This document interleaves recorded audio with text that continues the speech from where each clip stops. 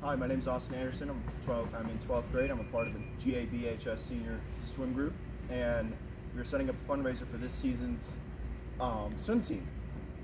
I'm Greg McBride, and thank you for uh, your support.